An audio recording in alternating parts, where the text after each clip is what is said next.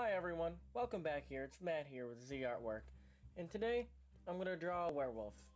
I thank you guys all for subscribing and liking to my and liking all my videos, commenting everything. And please subscribe though. Hit that little button right down below. It really means a lot. But anyway, I'm gonna show you guys how to draw this werewolf. It's Halloween coming up, so I'm gonna draw it for the season. It's gonna be a really nice drawing today, spooky too and I'm to be using uh, different colors, black, gray, orange, a little bit of red, brown, and my normal uh, Pentel mechanical pencil. I'm to use my Tombow eraser. And so I'm to start off first by making a very light outline of my werewolf. Make sure you always make a light outline, because obviously you don't want to have smudges and you don't want your drawing to be uh, a way you don't like it, because if it's too dark, in the beginning. It just sucks trying to erase the really dark scratch marks that you made. So, um, in this video though, I I kind of do half my imagination, half some uh, pictures of werewolves. Twilight's good to look at werewolves on that, because Twilight's all about werewolves. And uh, once again though, guys, I thank you all for watching my videos. It means a lot to me.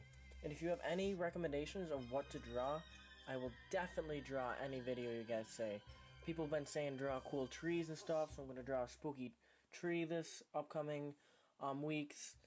So, any um, videos you guys want me to watch, I mean, want me to draw, I will definitely draw for you.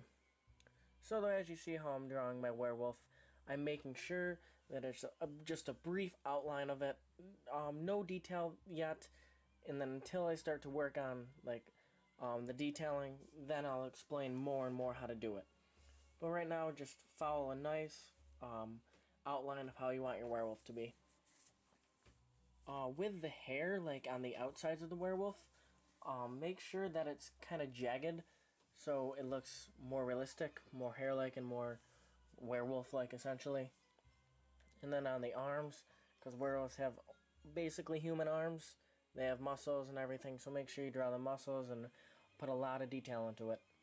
Same with the fingers. Right now, he's the fingers are bending over that rock.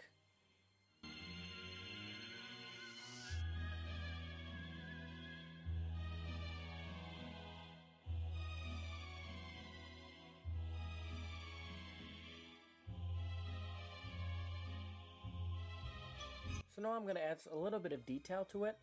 Um, as I'm detailing though, uh, with the hair, as you saw, I did on the tail and a little bit under there, under the chest area. I just um, scribbled a whole bunch in, used my blending stick and or finger to blend it in, and then I erased it a little bit here and there, and then that's how I make hair. Hair is very important to make, so always learn how to make hair when you're making animals. It will really help.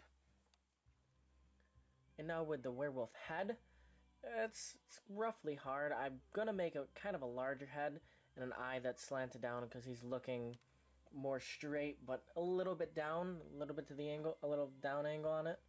So draw everything all like a wolf-like, draw like a wolf-like head. Very simple.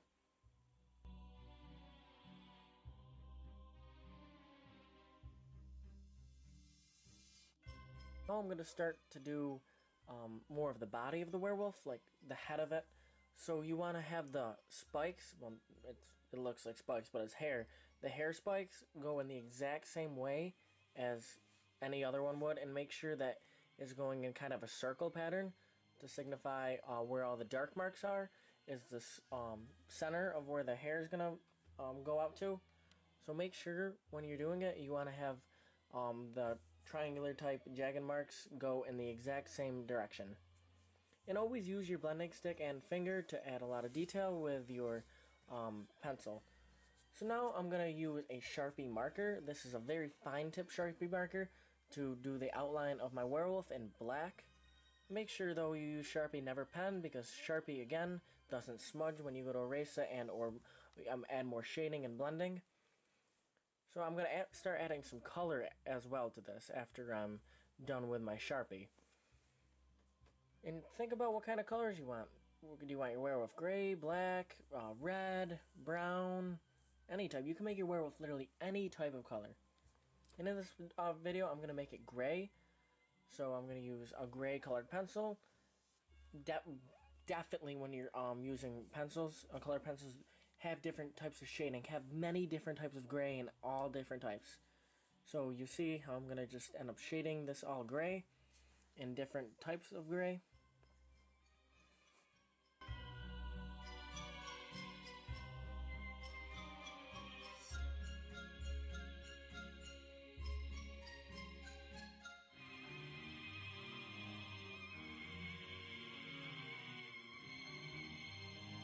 So you guys see though that I am adding a lot of orange, brown, different colors, um, just making my werewolf really vibrant essentially. And I'm using my Uniball um, white pen to create a really nice hair-like effect to add a lot of detail into it, which is probably one of the most important things. Definitely get a white pen. But guys, I hope you liked this video of me drawing a werewolf for Halloween. I will be drawing many, many more videos. So, and once again, if you have any video recommendations, please let me know. Comment, like, do everything. Again, hit that subscribe button. I will be posting many, many more. My Twitter, Z Artwork, my Facebook, Z Artwork. So, thank you guys all for watching. I really hope you enjoy it. Um, enjoy the Halloween month. Have a nice day, guys. Thank you.